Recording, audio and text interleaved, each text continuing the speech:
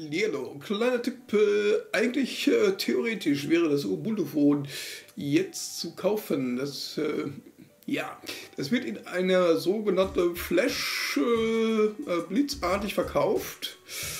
Hat aber nicht so richtig funktioniert. Das war blitzartig verkehrt. Also, die haben nicht damit gerechnet, dass 12.000 Bestellungen pro Minute kommt. Ja, Flash Sale. Ich dachte erst, die verkaufen eine Flashpay. Nein, das ist ein Blitzverkauf und machen dann per Twitter Ankündigungen, jetzt eben gibt es Ubuntu Phone zum Kaufen und dann äh, kommen natürlich 12.000 Leute gleichzeitig und wollen es kaufen und dann brechen da sämtliche Server zusammen. Äh, hier weist man darauf hin, dass sämtliche Ubuntu Smartphones nicht vor März ausgeliefert werden, es sei denn, äh, ihr habt vielleicht irgendeine Vorabversion bekommen oder Testversion oder wie.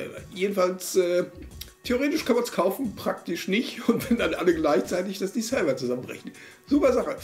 Äh, in der Schweiz kann man es nicht kaufen, ist nur available in der EU. Ja.